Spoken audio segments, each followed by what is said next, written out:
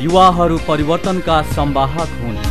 पुरानो पुस्ताको अनुभव र नयाँ पुस्ताको सोच सहित कार्यक्रम नयाँ पिँढी नयाँ सोच मात्र बुद्ध सामुदायिक टेलिभिजनमा हेर्न नभुल्नुहोला। नमस्कार यहाँहरू सबैलाई स्वागत छ। म कमल थापा। दर्शक महानुभाव मुलुक नयाँ काँचुला फेर्दैछ भनेर हामी चर्चा गर्छौँ।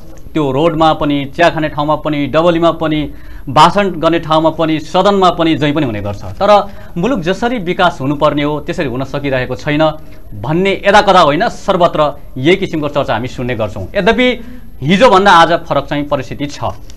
आज हामीले विशेष गरी युवाहरूमा यही ढङ्गको निराशा यही ढङ्गको विचलन यही ढङ्गको नकारात्मक भावनाको जुन अभिवृद्धि हुँदैछ यो मात्रै होइन है। अब मुलुक परिवर्तनको प्रशस्त सम्भावना पनि छन्। यहीँनिर हामी केही गर्न सक्छौँ भन्ने युवाहरूको पनि यो भिडमा कमी छैन। र आज हामीले विशेष गरी यो मुलुकलाई कसरी उद्यमशील बनाउन सकिन्छ यो मुलुकमा कसरी युवा रोजगारलाई बढाउन सकिन्छ भन्ने सेरोफेरोमा रहेर एउटा खास संवादको प्रयत्न गर्दैछौँ। र आज हामीसँग यो विषयमा रहेर विशेष गरी युवाको क्षेत्रमा उद्यमशीलताको क्षेत्रमा र युवा रोजगारको क्षेत्रमा नीतिगत अनुसन्धान मात्र होइन काम पनि गर्ने एकजना युवालाई हामीले आमन्त्रित गरेका छौँ। जो युवा अभियन्ता त हुँदै हुन् अझै डेभलपमेन्ट कन्सल्टेन्ट पनि हुन् विगत आधा दशकभन्दा बढीबाट उद्यमशीलता र रोजगारको क्षेत्रमा सक्रिय छन्। र विशेष गरी अहिले पछिल्लो समय करिब सस्टेनेबल डेभलपमेन्ट गोलसँग जोडिएर अहिले सातवटा मुलुकलाई पनि भ्रमण गरिसकेको र आफ्नो अनुभव पनि सेयर गरेका एकजना युवा सञ्जय पोखरेल आज हामीसँग हुनुहुन्छ। आज हामी उहाँसँग यससँग जोडिएर केही समसामयिक विषयलाई उठान गरी एउटा महत्त्वपूर्ण संवादको यत्न गर्नेछौँ। पोखरेलजी कार्यक्रममा स्वागत छ। धन्यवाद कमलजी। आराम हुन्छ हजुर आरामै। यो विशेष गरी यति लामो दारी हुनेहरू हजुर। सन्त महन्त तपस्वीहरूको प्रायः हामी देख्ने गर्छौँ। हुन त हजुर। पछिल्लो समय यो फेसनमा पनि आएको छ। तपाईँ त अब देशको चिन्ता गर्ने मान्छे युवाको चिन्ता गर्ने मान्छे अझै विशेष गरी युवा रोजगार बढाउने कसरी उद्यमशीलता गराउने कसरी भन्ने युवा। तपाईँको यो दारी त्यसैको चिन्ताले हो कि अब यो फेसनको चाहनाले हो? पहिला त्यहाँदेखि सुरु गरौँ न कुराकानीलाई। यसको एउटा चिन्ता भन्नुभयो चिन्ताले पनि हुनसक्छ। दारी बढेको? दारी बढेको।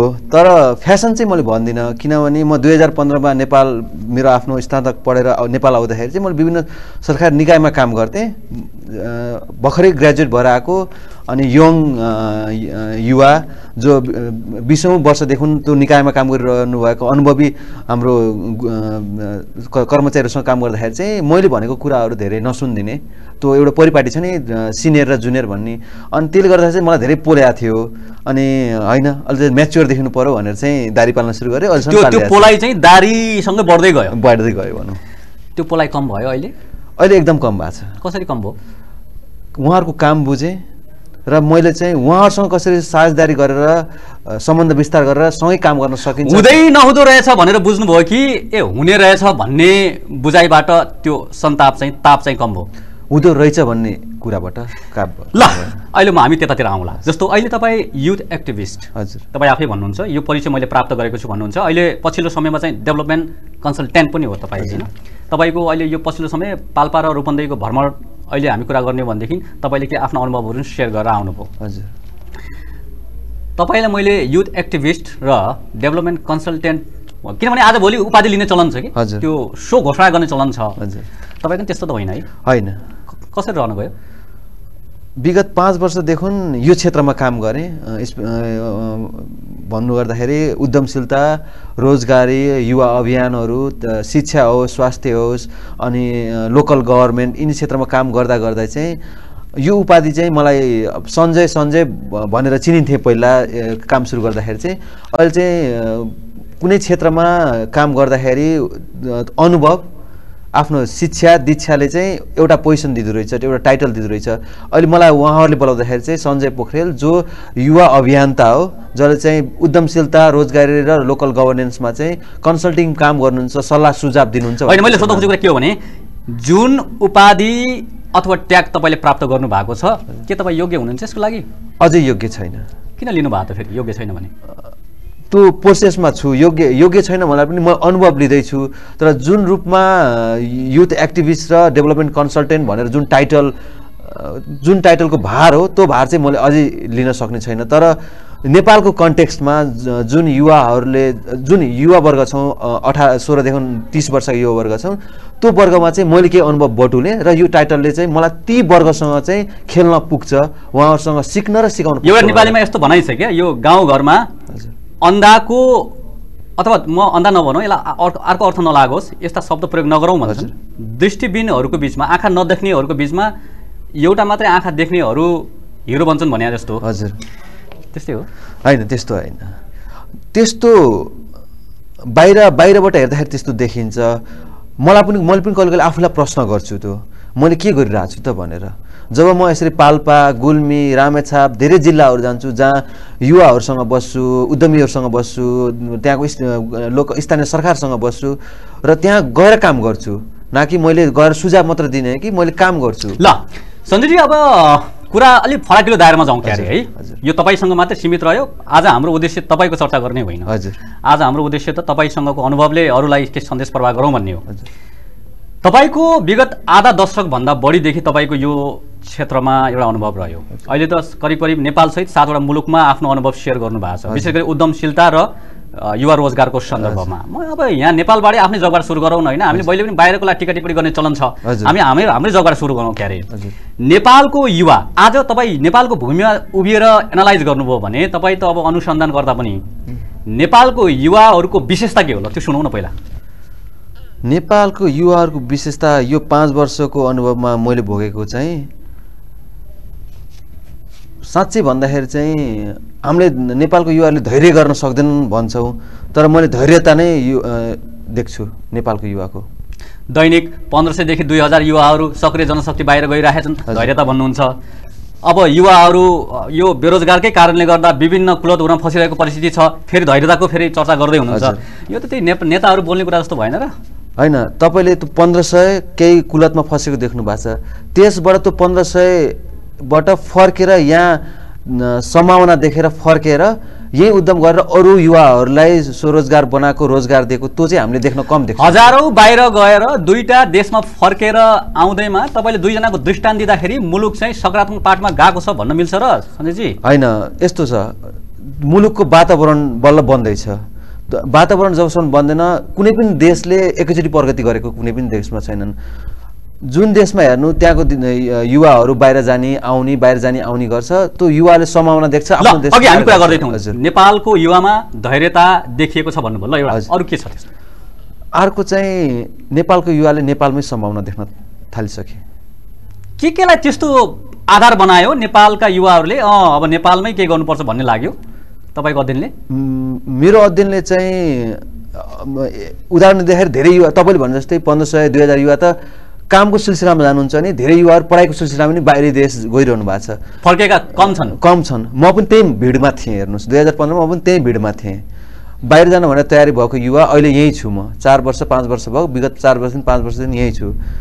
जुन सम्भावना देखेर युवाहरू देश फर्केका छन् र यही सिर्जना सृजनशील भएर सम्भावना बनाइ क्रिएट गरिरहेका छन् त्यसले चाहिँ मैले नेपाली युवाहरूले चाहिँ देशमा सम्भावना देखिरहेछन् भन्ने चाहिँ मलाई लाग्छ। ल एउटा यो कुरा भयो। म अब यताबाट कुराकानी सुरु गर्छु। तपाईँ त अहिले सस्टेनेबल डेभलपमेन्ट गोल हजुर। दिगो विकास लक्ष्य। क्याम्पेनमा तपाईँ हुनुहुन्छ। हजुर। अहिले त एउटा नेपालको तर्फबाट एउटा प्रतिनिधि युवा पनि तपाईँ हुनुहुन्छ अहिले सातवटा नेपालसहित सातवटा मुलुकको तपाईँ भ्रमण पनि गर्नुभयो। एकपटक बाहिरतिरको युवा र हुन त हाम्रै मुलुक र केही अलिक विकसित मुलुकमा पनि यहाँको भ्रमण भयो। सिङ्गापुर। लगायतका केही श्रीलङ्का अलि राम्रै विकास भएको मुलुकहरूमा मानिन्छ। इन्डिया पनि अलिकति हामीभन्दा अगाडि भएको मानिन्छ। अब अलि इन्डियाको कन्टेक्समा गर्ने भने त अब टप टेन अब राइजिङ कन्ट्रीहरूमा चाहिँ पर्ने पनि हामी देख्छौँ। फेरि तपाईँ नेपालको प्रतिनिधित्व गरेर त्यहाँ आफ्नो आइडिया सेयर गर्नुभयो। के सेयर गर्नुभयो?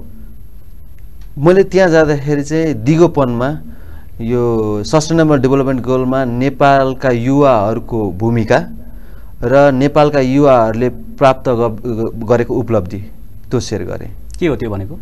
त्यो भनेको यही उद्यमशीलतामा के गरिरहेका छौँ रोजगारीको सिलसिलामा के गरिरहेका छौँ स्वास्थ्यको क्षेत्रमा के गरिरहेका छौँ शिक्षाको क्षेत्रमा नेपाली युवाहरू कहाँ छन् र कसरी अगाडि बढिरहेछन् भन्ने थोरै सुनाउ न तपाईँको तथ्यगत अभिमत सुनाउ न अनुभव। तथ्यगत अनुभव सुन्दाखेरि चाहिँ स्वास्थ्य र शिक्षाको क्षेत्रमा नेपाली युवाहरूले धेरै नै अरू विकसित मुलुक विकसित मुलुकभन्दा धेरै नै अगाडि छौँ हामी।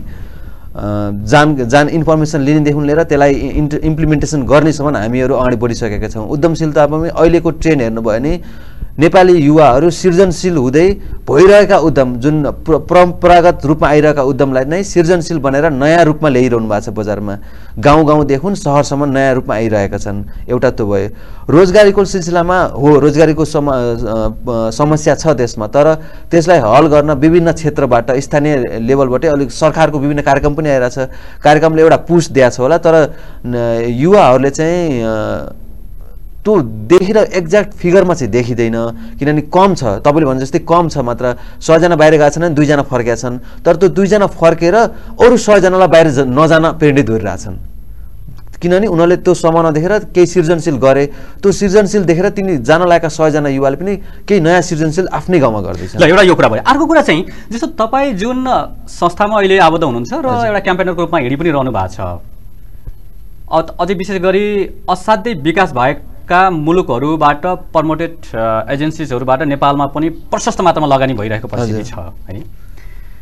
फेरि नेपालकै विकास हुँदैन अथवा हामी जस्तो मुलुकको विकास हुँदैन कि? अब अमेरिकाको लगानी यहीँ छ इङ्ल्यान्डको लगानी यहीँ छ अस्ट्रेलियाको लगानी यहीँ छ होइन? जापानको लगानी यहीँ छ कोरियाको लगानी यहीँ छ। हजुर। अनि तपाईँहरू जस्तो म्यासेन्जर भएर विभिन्न मुलुकमा गएर चाहिँ एउटा त्यो इन्डियामा एउटा सिनेमा थियो नि सलमडक मिलेनियर भनेर हजुर। होइन? इन्डिया अब त्यो सिनेमाले त धेरै अवार्डहरू त पायो। तर इन्डियाको दुःखलाई संसारभर छताछुल्लो पार्यो भन्छ क्या। हजुर हो। तपाईँहरू पनि त नेपालको दुःखलाई छताछुल्लो पार्दै पैसा कमाउँदै हिँड्नुहुन्छ होला नि त बाहिर होइन? त्यसलाई त्यसरी चित्रण गर्नुभन्दा पनि हामीले अहिले गरिरहेको काम भनेको नेपालको चित्रण देखाउनु नै हो। तर त्यसलाई कसरी देखाइन्छ र कुन रूपमा देखाइन्छ कसरी देखाउनुहुन्छ? ल नेपालमा घट्दो परिस्थितिलाई कसरी देखाउनुहुन्छ? नेपालको बिग्रदो परिस्थितिलाई कसरी चाहिँ देखाउनुहुन्छ? नेपालमा अब उक्लदो परिस्थितिलाई कसरी व्याख्या गर्नुहुन्छ? हजुर। सुनाउनु त्यसो भए। मैले उदाहरण दिँदै भन्छु नेपालले सामुदायिक वनमा चाहिँ एसियामै नगरेको उपलब्धि गरिरहेको के गर्यो? सामुदायिक वनमा। जुन रूपमा सामुदायिक वन एक हिसाबले नेपालमा फर्स्ट आयो अरू देश बल्ल नेपालबाट सिक्दैछन्। जुन भनेको एउटा इक्जाम्पल हामीले उदाहरण दिने हो नेपालीहरूले गरिरहेछन् भनेर। अर्को भनेको डिसेन्ट्रलाइज भयो हेर्नुहोस्। सरकार गाउँ गाउँसम्म पुगेको छ। देखिया पनि छ। अब त्यसलाई अझै चरण विभिन्न चरणहरू छन्। त्यसले गर्दाखेरि विभिन्न राजनैतिक दलले यही ठिक भइरहेको छैनन् भनिरहेका छन्। भनिरहेको भनिरहेका छन्। अब त्यसको आफ्नै फाइदा बेफाइदा छन्। तर हामीले हेर्दाखेरि चाहिँ त्यसलाई दुइटै एस्पेक्टबाट हेर्नुपर्छ दुइटै साइडबाट हेर्नु पऱ्यो अनि त्यसको साइड हामीले हेर्दाखेरि चाहिँ त्यसले गर्दाखेरि जुन रूपमा सेवा सुविधाहरू स्वास्थ्यका होस् शिक्षामा होस् जुन सेवा सुविधा नेपालीहरूले गाउँ गाउँमा पाएको थिएनन् त्यो गाउँ गाउँसम्म पुगेको छ। त्यो देखाउँछौँ अब। दात्री निकायले तपाईँले भने जस्तै दात्री निकायले लगानी नगरेको होइन। कति वर्षौँदेखि नेपाललाई लगानी गर्छ त्यो कहाँ गयो? बालुवामा पानी खनाए जस्तो भनिन्छ। अझै पनि त्यस्तै भइरहेछ। त्यो किन भइरहेछ भनेर चाहिँ हामीले कहिले सोच्दैनौँ। न माथि माथिल्लो सरकार सरकार निकायमा बस्ने व्यक्तित्वहरूले सोच्नुहुन्छ न हामी जस्तो युवाहरूले सोध्छ तपाईँको अध्ययनले किन सोच्दैनन् होला? किन नसोचेको होला? किन आजसम्म त्यहाँनिर बुद्धि पुगिरहेको छैन होला त्यसो भए? मेरो विचारमा चाहिँ हामी रमाइरहेछौँ। कहाँ रमाइरहेछौँ? यही स्रोत र साधनमा। त्यो भनेको के हो? त्यो भनेको के हो भने जे छ ठिक छ भन्ने चलन छ। तर हामीले कहिले पनि साँच्चीकै जो डेभलपमेन्ट क्याम्पेनर भएर तपाईँ जस्तो हिँडिरहे रहेका छन् हजुर। तपाईँले भनेको यो अन्तिम वाक्य जस्तो जे छ ठिक छ भनेरै त्यही बुझाइबाटै बसेका होला र सय पर्सेन्ट त्यो छैन। कति पर्सेन्ट छ? तपाईँको अन्दाजमा? मेरो अन्दाजमा पर्सेन्टेजमा भन्दाखेरि चाहिँ त्यो अलिकति ठिक नहोला किनभने अब कति संस्थाहरू गाउँ गाउँमा गएर पनि काम गर्नुभएको छ समुदायसँग बसेर। तर त्यस्तो संस्था छन् भन्नलाई चाहिँ किन यो यत्रो फन्ड आउँदाखेरि पनि किन विकास भएन भन्- भन्दाखेरि चाहिँ एउटा कुरो जो फन्ड चलाउने व्यक्ति र जो फन्डको लाभदायी व्यक्ति दुईजनालाई चाहिँ स्रोत र साधनको विनियोजन गर्न नआएर। स्रोत र साधनको विनियोजन गर्नै नजानेर हामीले नआएर कि बिचमा हराएर कि बिचमा अब त्यसलाई अब के गराएर हो कि? नै स्रोत र साधनको बिज- विनियोजन गर्न नआएको भनेको बिचमा हराएर पनि हुन्छ खाएर पनि हुन्छ फर्काएर पनि हुन्छ। ल सञ्जयजी अब तपाईँको आशय मैले बुझेँ। हजुर। सायद दर्शकहरूले पनि यो बुझ्नुभयो होला। अन्य मुलुकमा नेपालको अनुभव सेयर गर्दै गर्दा दुःख मात्रै नबेच्नु होला। मैले अहिलेसम्म सातवटा मुलुकको भ्रमण गर्दाखेरि मलाई गर्व लाग्छ।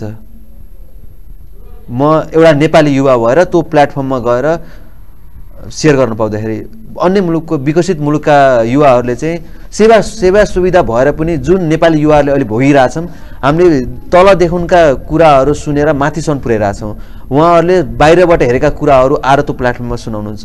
जसरी हामीले स्वास्थ्य शिक्षामा उद्यमशीलतामा रोजगारीमा उपलब्धि गरिरहेछौँ बिस्तारै बिस्तारै। त्यो उपलब्धि भनेका अरू देशका विकसित देशका युवाहरूको लागि त प्रेरणा भइरहेछ। त्यो सेयर त्यो सुनाउँदाखेरि चाहिँ मलाई धेरै व्यक्तित्वले भन्नुहुन्छ तिमीले पनि बाहिर गएर यहाँका दुःखका कथाहरू सुनाउँछौ भन्नुहुन्छ। दुःखका कथाहरू सुनाउँदै गर्दा त्यो दुःखबाट आएका उपलब्धिहरू सुनाउँछौँ हामीले। ल सञ्जयजी एउटा कुरा। हजुर। जस्तो तपाईँ नीतिगत पैरवीको लागि एउटा अनुसन्धानकर्ता पनि हो। हजुर। है?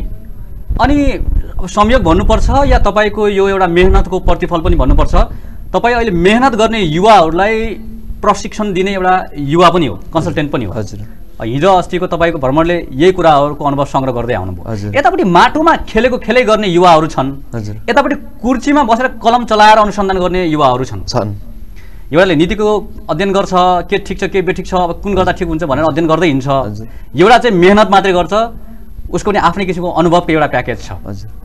त दुइटैको चिन्ता भनेको मुलुकको विकास हो उद्यमशीलता हो रोजगार हो शान्ति हो समृद्धि हो। तर यो हुन सकिरहेको छैन। अनि यो दुइटाको फ्युजनबाट एउटा राम्रो केही क्या प्याकेज आउन सक्थ्यो होला। के गर्नुपर्छ होला यसको लागि? उत्तर तपाईँकोमै छ। एउटा माटोमा खेलिरहेको छ एउटा चेयरमा खेलिरहेको छ। जबसम्म यो चेयरमा माटोमा खेल्ने चेयरमा चेयरमा गएर कलम चलाउन उसलाई समय छैन। ऊ आफ्नै मिहिनेतमा खडा भइरहेको छ भने चेयरमा बस्नेले चाहिँ त्यही माटोको कथा लेखेर ऊ चेयरमा बसेको बसै छ। जबसम्म चेयरमा बस्ने माटोमा आएर माटोको माटोको व्यक्ति या त्यो त्यो समुदायसँग घुलमिल हुन सक्दैन त्यहाँको यथार्थ बुझ्न सक्दैन त्यो फ्युजन हुन सक्दैन तबसम्म चाहिँ यिनी दुईवटा सधैँ दुई एउटा सिक्काका दुई पाटा मात्र हुन्छन्। जसले चाहिँ हुन् एउटै त्यो सिक्कालाई चित्रण गर्ने तर दुईतिर फर्केर बसेका छन्। जबसम्म यिनी दुईजना एकैतिर फर्किन्नन् कुर्सीमा बस्ने जबसम्म माटोमा आएर उसले के गरिरहेछ माटोमा मिहिनेत गर्नेले के गरिरहेछ त्यो मेहनतको फल के हो भनेर उसका दुःखका उसका प्रेरणाका उसका सफलताका कहानी जबसम्म बुझेन तबसम्म यो कहिले सम्भव छैन भन्दा नि हुन्छ। तपाईँको रोल विशेष गरी उद्यमशीलता र रोजगार प्रवर्धनमा बढिरहेको हजुर, छ। हामी यहाँ पनि थोरै क्लिक गरौँ क्या। त्यसपछि अब हामीसँग समय पनि कम छ। हजुर। थोरै समय रह्यो फेरि अरू पनि खपाउँला। नेपाल गाउँै गाउँले भरिएको देश। हजुर। यदि गाउँलाई लक्षित गरेर हामी कार्यक्रम ल्याउन सकेनौँ भने बुटोलको जतिसुकै विकास भए पनि काठमाडौँको जतिसुकै विकास भए पनि पोखराको जतिसुकै विकास भए पनि मुलुकको विकास सम्भव छैन। यो त यहाँहरूले नै भन्ने गर्नुहुन्छ। त्यसो हो भने युवा रोजगारको लागि व्यापार वृद्धि हुँदै जाँदाखेरि युवा रोजगार बढेकोलाई हामी सस्टेनेबल मान्ने कि उद्यमी युवाहरू वृद्धि हुँदै जाँदाखेरि भएको विकासलाई सस्टेनेबल मान्ने किन? उद्यमी युवाहरू विकसित हुँदै गयो भने त्यसलाई चाहिँ हामीले सस्टेनेबल मान्छौँ किन मान्ने? उद्यमी भनेको उद्यमी भन्नाले कसरी चिनिन्छ नि? उद्यमी भन्नाले उसले आफू मात्र होइन कि आफ्नो वरिपरिको परितन्त्रलाई पनि उद्यमय बनाएको हुन्छ। व्यापारीले चाहिँ आफ्नो व्य व्यवसाय र आफूलाई मात्र सोचेर आफ्नो व्यापार गरिरहेको हुन्छ भने उद्यमीले चाहिँ आफ्नो वरिपरिको परितन्त्रलाई सोचिरहेको हुन्छ। जब तपाईँ व्यापारीले पनि त आफ्नो च्यानलहरू त बनाएको हुन्छ त। त्यो च्यानल उसको फाइदाको लागि मात्र हेर्छ। तर उद्यमीले चाहिँ आफ्नो परितन्त्रको फाइदा हेर्छ। उद्यमी बन्नलाई यदि परितन्त्रको फाइदा भएन भने ऊ उद्यमी बन्न सक्दैन। त्यो परितन्त्र भन्नाले उसको समुदाय हुनसक्छ उसको गाउँ हुनसक्छ उसको परिवार हुनसक्छ र देश पनि हुनसक्छ। जबसम्म उद्यम उद्- उद्यमी उद्यममय यो देश गाउँ गाउँ उद्यमय हुँदैन तबसम्म चाहिँ दिगो विकासपन चाहिँ सम्भव छैन। नेपालमा भएकाहरू बढी व्यापारी हुन् कि बढी उद्यमी हुन्? अहिलेको कन्टेक्समा चाहिँ धेरै उद्यमीहरू आउँदै हुनुहुन्छ। अहिले विद्यमान परिस्थिति बढी व्यापारी हुन् कि बढी उद्यमी हुन्? बढी उद्यमी उद्यमी हुँदैछन्। व्यापारीबाट उद्यमी हुँदैछन् भनौँ। सायद व्यापारीकै बढी हाबी छ। राइट त्यस कारणले गर्दाखेरि नेपालको यहाँले भने जस्तो दिगो विकासतर्फ हामी उन्मुख हुन सकिरहेको छैनौँ होला है। हजुर। सस्टेनेबल डेभलपमेन्ट गोलको। तपाईँ चाहिँ अब प्रतिनिधि भएको ना नाताले पनि परिस्थिति यस्तो गर्दा कहीँ त एउटा पिन्च हुँदो होला। ल करिब अब हामीसँग समय असाध्यै कम छ। कुरा गर्ने असाध्यै धेरै मन थियो। अब यो मुलुक निसन्देह यहाँ जस्तो युवाको चिन्तन गर्ने युवाको यदि सङ्ख्या बढ्यो भने निसन्देह यो मुलुकको परिस्थिति फरक हुँदै जान्छ गइरहेको पनि छ। अब अन्त्यमा एउटा उद्यमी युवा बनाउनको लागि कसले के गर्नुपर्छ? युवा स्वयंले के गर्नुपर्छ? राज्यले के गर्नुपर्छ? र कस्तो परिवेश बन्नुपर्छ? अन्त्यमा। एउटा उद्यमी युवा हुनलाई मैले परितन्त्रको कुरा है परितन्त्र नै राम्रो हुनुपर्छ। राज्यले त्यो परितन्त्र राज्यले उद्यमी बनाउने होइन। राज्यले परितन्त्र बनाइदिने हो। त्यो भनेको परिवेश बनाइदिने हो। उद्यमी आफै युवा हुने हो।